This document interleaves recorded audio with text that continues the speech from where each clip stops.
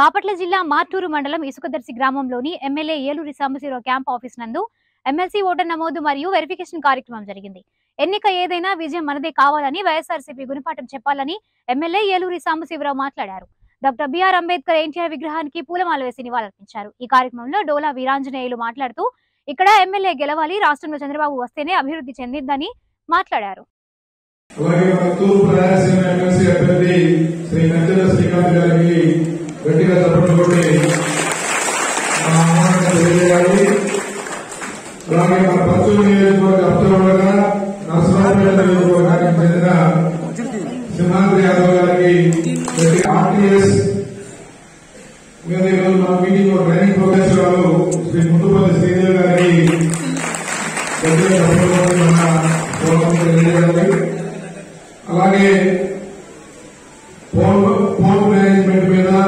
state కోఆర్డినేటర్గా వ్యవహరిస్తున్న శ్రీ రాజశేఖర్ గారికి స్వాగతం తెలియజేస్తున్నాం అలాగే మన నియోజకవర్గానికి సంబంధించిన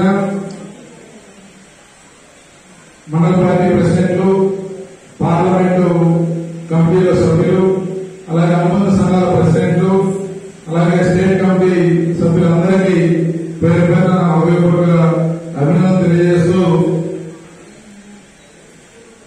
ఈరోజు ఈ కార్యక్రమం ముఖ్య ఉద్దేశం మీకు తెలియజేసి మన ముఖ్య అతిథులందరూ ఆ విషయాలన్నీ కూడా మనం మాట్లాడి తెలుసుకొని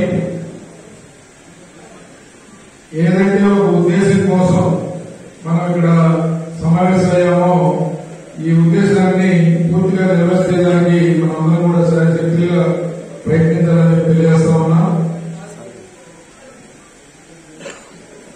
ఈరోజు ముఖ్యంగా మన సమావేశంలో ముఖ్యమైన అజెండా